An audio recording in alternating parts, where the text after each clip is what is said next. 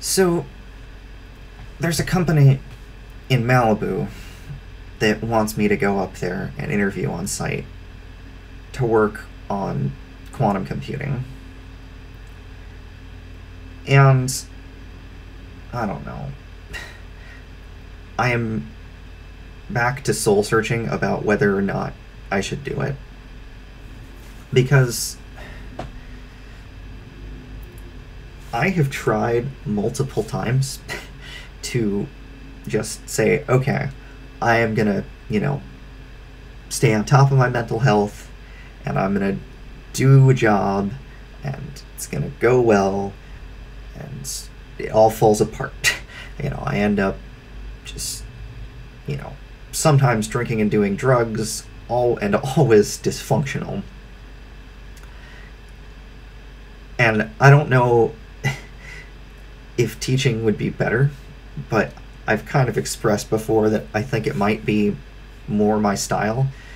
Because it's a I mean it's just as much work at least if you're doing your job properly um, and you're teaching a full full-time course load. Uh, so it's it's an opportunity I'd be crazy not to at least give you know at least go on site because I'm you know what I say it's like I'm interviewing them as much as they're interviewing me. But I don't know if I would really do well or not and it's like I wanted to be a research professor right? I wanted to be able to teach and simultaneously do research and I think I would have been happy at like a liberal arts college or ideally a like state university where most of my job is teaching students and I'd you know much rather it be a state university than oftentimes hoity-toity liberal arts college you know I want to provide the students with good value for you know their hard-earned tuition dollars and you know, it'd be nice to be able to do some research too. Um, but I didn't. My career didn't go well enough. I published a decent, some decent papers in grad school, but I just, in some sense, literally fell off the wagon during my postdoc, and my chance to be a tenure track faculty at a university where I can do research is basically gone. It's just, I mean, it's just already so insanely competitive that there's no way. So now I kind of have to make a choice. Do I want to teach or do I want to do industry research? And unfortunately, the way it works is they'll, they'll always let you switch to teaching, but they won't always let you switch into research. So if I make the switch to teaching, it will be likely be a permanent one. So I don't know.